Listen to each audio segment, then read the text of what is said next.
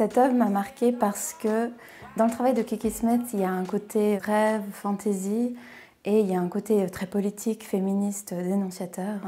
Et c'est plutôt euh, cet aspect-là que, j'aime chez elle. C'est ce que j'aime faire dans mon travail aussi. C'est euh, cette confrontation à une problématique sociale. Et cette œuvre-là, qui date de 1990, traite de, des années SIDA dans les années 80.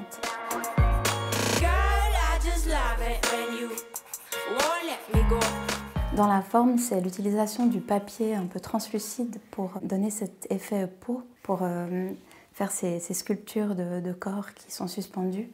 Moi, je suis très dure avec moi-même pour les traits du crayon qui, je trouve, doivent toujours être le plus réaliste possible pour justement convier cette, euh, cette dimension euh, humaine.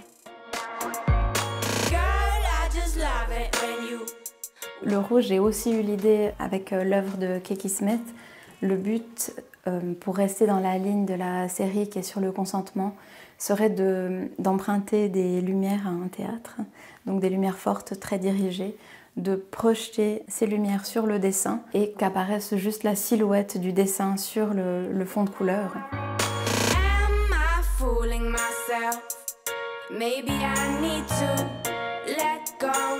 Je crois qu'à la base, euh, même quand j'étais petite, je dessinais beaucoup l'humain.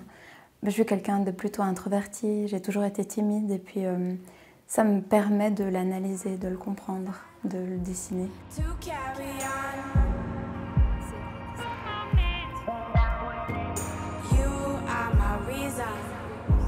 To carry on.